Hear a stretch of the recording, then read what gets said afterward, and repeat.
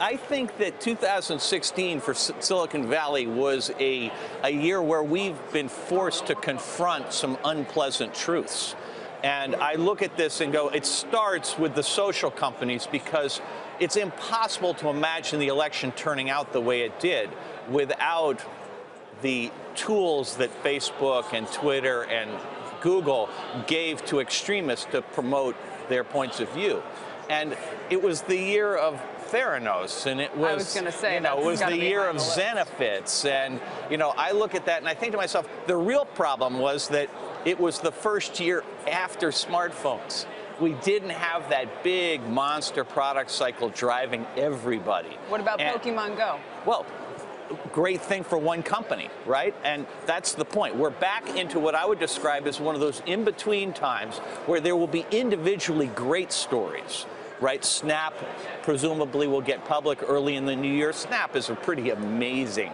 I, I really admired the company because they had the courage not to take an offer early. They believed in their mission and they were right. I mean, it doesn't get any better than that.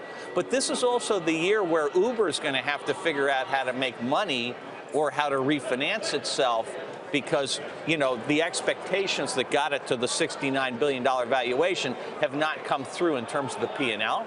And so I think it's going to be a year of individual stocks, Kayla, and we'll have to just watch. Does it feel like the very big established companies actually have reestablished themselves as leaders in the areas we're all watching, whether it's AI, virtual reality, even you know autonomous driving cars? I mean, you, you hear about all that's Yeah. going on inside of a Google and elsewhere. Yeah, I don't know how that's going to turn out because I think this is going to be, you know, not the year of AI and not the year of driverless cars. It'll be another year of waiting for AI and waiting for driverless cars. Well, a lot's And- been happening on those fronts, though. I mean, Oh, of course there is, but not in the way that you can invest in successfully. You can invest in the dream, you can invest in the sales pitch, but the fundamentals aren't there yet. And what we've learned in Silicon Valley is these things always take longer to start than you think. And then once they start, they happen much faster than you think.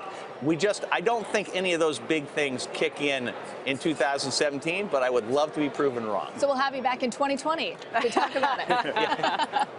Roger, Happy New It's Year. great to see you all. Take Always care. We'll see you see next you. week. Hey there, thanks for checking out CNBC on YouTube. Be sure to subscribe to stay up to date on all of the day's biggest stories. You can also click on any of the videos around me to watch the latest from CNBC. Thanks for watching.